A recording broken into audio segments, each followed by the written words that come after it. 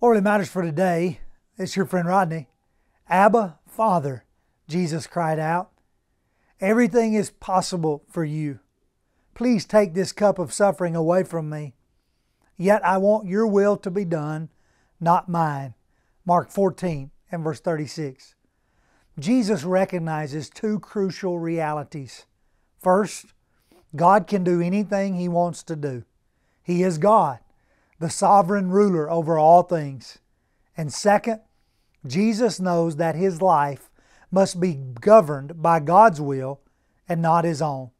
The whole of human salvation history hinges on Jesus following through on one heartfelt phrase from His lips I want your will to be done, not mine. In a parallel way, our future is also determined by our following His example of saying, Father, I want your will done in my life, not mine.